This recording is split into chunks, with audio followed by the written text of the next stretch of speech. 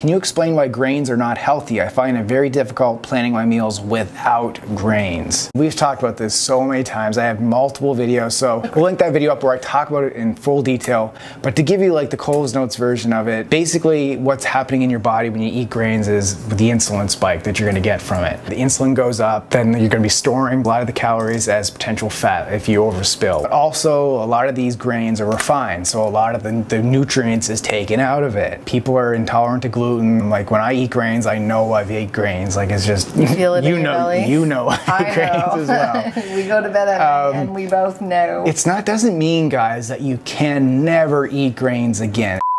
So back in 2013, I filmed this. Here are four reasons why you should avoid grains to live lean. Get out of here, grains.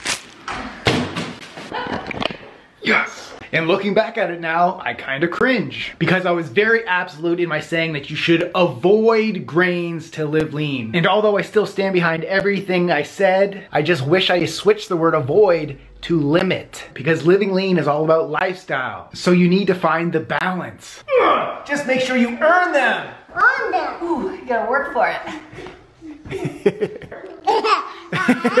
it's not an all or nothing thing. I have to keep talking about that about a lot of things when it comes to living lean. It's not like you can never have a piece of bread. Just make better choices. And the healthy versus not healthy thing is not so black and white either. It's, not, it's like no. you can't just put grains in the unhealthy category because they are healthier than it's, Twinkies. Yes, exactly. You know, healthier so if, than McDonald's. So if you're gonna fill out your plate with grains, or if you're gonna make a mm-hmm. sandwich, then choose Ezekiel bread over white bread. There's just like different we levels. We still have Ezekiel bread in our refrigerator. Like it's not like we don't eat any grains. Yeah, there's different levels. When we say don't eat grains, we just, just don't want you cut it back. Yeah, yeah it's like there's so many other foods out there that you can be filling yourself up with. People are like, I'm bored with eating the same foods. Yeah. It's like you would have to like you could eat a brand new food that you've never had every single day of the year, and you still wouldn't cover all the foods that you yeah. could eat, like all oh, the different vegetables, all the different I know. fruits. What video we should link up is the grain alternatives video, remember? Yeah. And so there it gives you different like grain alternatives for foods that you're probably used to eating with grains. Yeah. It gives you an alternative